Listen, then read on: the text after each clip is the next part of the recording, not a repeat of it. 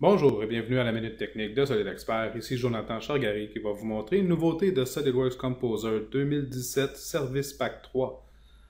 Alors, il est maintenant possible d'importer les nomenclatures directement de SolidWorks vers Composer. Alors, pour ce faire, je vais me créer une nouvelle vue d'orientation, une vue d'annotation dans SolidWorks. Et par la suite, on va insérer une nomenclature.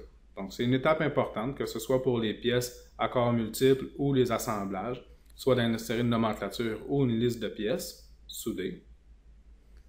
Alors, on insère notre nomenclature.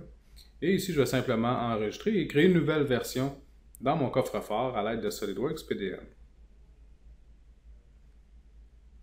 Alors, une fois mon document archivé avec les commentaires, on va pouvoir ouvrir cet assemblage dans SolidWorks Composer. Alors, à noter qu'il faut aller sélectionner la nouvelle option pour importer les nomenclatures. Alors, lorsqu'on sélectionne notre assemblage, on va dans le menu SolidWorks pour importer le BOM SolidWorks.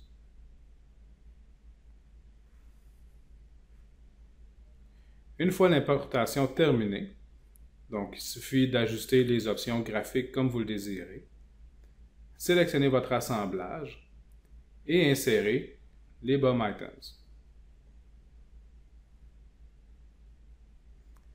Alors, il est maintenant possible d'exporter cette illustration technique également